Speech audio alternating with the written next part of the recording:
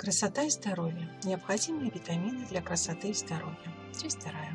Мы продолжаем наш разговор о витаминах, которые отвечают за нашу красоту, гладкую кожу, шелковистые волосы, глаза, зубы, стройную фигуру и легкую походку. Одним из этих представителей является витамин группы В, которые важны для организма всем. Например, витамин В2, рибофлавин – это витамин красоты и молодости. Он обеспечивает упругость кожи, замедляет процессы старения, а также помогает полноценно усваиваться пищи.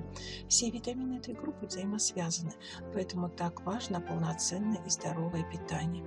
Недостаток витамина В2 приводит к проблемам с кожей, ухудшению зрения, депрессиям и частым нервным срывам, снижению иммунитета. Особенно важно увеличить количество этого витамина, поступающего с пищей, если часто проявляется вирус герпеса, появляются нарывы или даже фурункулы. Симптомами недостатка витамина В2 также являются морщинки над верхней губой, морщины или трещины в уголках губ, покраснение век, ощущение жжения глазных яблок, шелушение кожи на кончике носа, повышенная жирность волос. Ухудшается работа мозга, снижается концентрация внимания и память. Как и все витамины группы В, витамин В2 в наибольших количествах содержится в пивных дрожжах, печени рыб и животных, говядине, яичных желтках, проростках пшеницы, твороге, твердых сортах сыра, зеленый горошек, томаты, репа, лук-порей также содержат этот витамин, хотя и в меньших количествах. О других витаминах вы можете узнать в следующем видео.